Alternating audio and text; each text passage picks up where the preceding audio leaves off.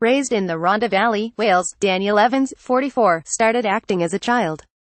He has performed at the RSC, National Theatre and on Broadway, and won Olivier Awards in 2001 for Merrily We Roll Along, and in 2007 for Sunday in the Park with George.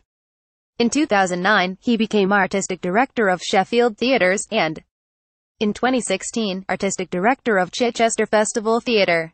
His production of Quiz transfers to the West End this month. What was your initial reaction to Quiz, James Graham's play about Charles Ingram, the coughing major, accused of cheating on Who Wants to Be a Millionaire?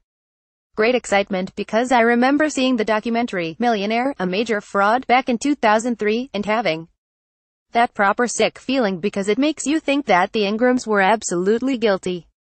It was fascinating to find out more about the case itself. The audience have to vote whether they think they're guilty or not at the end of each act, every performance except two we had a guilty verdict in Act 1 and an innocent verdict in Act 2. So it's great fun, but it also has something substantial to say about the elasticity of truth. Do you have a hunch yourself?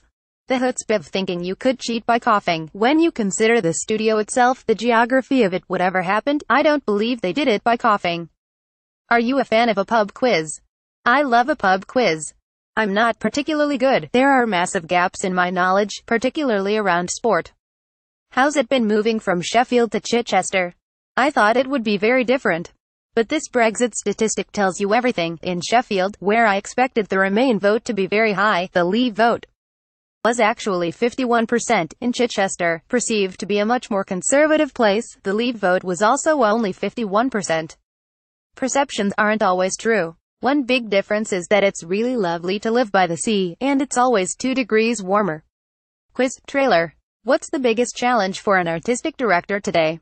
To make the funding go as far as possible. That's about putting on pertinent shows, but it's also about the work we do off the stage, particularly with major cuts happening to arts education.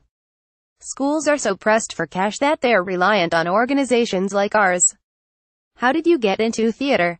I was taken by my grandmother to the park. And in the Rhondda Valley there's a great amateur tradition. I also went to chapel, and I'd get up in the pulpit and read chapter and verse, so there was a bit of theatricality going on there. Have you ever put on a play in Welsh? Yeah. I directed a play for the Welsh Language National Theatre, Theatre Genedlaethol Cymru, by Saunders Lewis, called Esther. My father is first language, so I grew up bilingual. It means a great deal to me. There's a 50 to 50 gender balance commitment for actors this summer at Chichester. What spurred that decision? It was something I'd done in Sheffield and was really proud of. Last year we got our feet under the table, and then I thought, hang on, we do need to start looking at our civic duty, and our artistic duty, which is to reflect the world. We're not doing that if we're constantly merely reflecting the stories of men. Why not make that explicit for playwrights and directors? 2, or right across the entire company. Ultimately, that's where we're going. It's bit by bit. Watch this space. Do you miss performing on stage? I've just started to, strangely. I miss singing, there's a certain kind of release you get. I hope at some point I will act at Chichester. It's hard, though, you never want it to seem like an ego. Trip, I'm casting myself as Hamlet? I don't think so. It's clear that musicals have a special place in your heart. There is something about that communal sound I find very moving.